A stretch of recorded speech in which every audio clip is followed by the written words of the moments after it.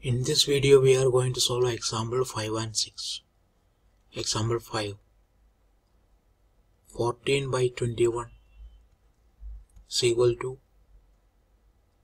2 into 7 divided by 3 into 7. Cancelling 7 and 7 we get this is equal to 2 by 3. So here it is 2 multiplying 2 by 3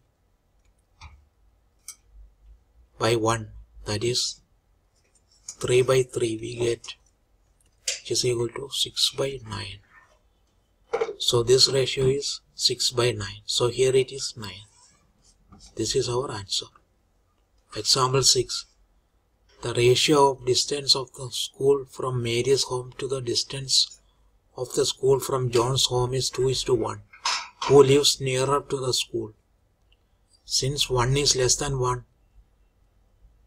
John lives nearer to the school. So the answer is John.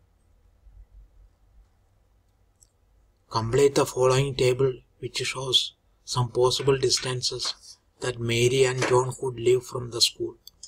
Since the ratio is 2 is to 1, here it is 10 is to 5 that is 2 is to 1. Since the ratio is 2 is to 1 here it should be 8.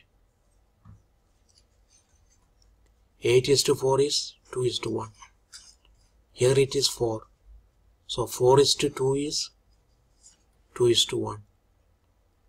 Here it is 3. 6 is to 3 is 2 is to 1. Here it is 1 then it, here it should be 1 2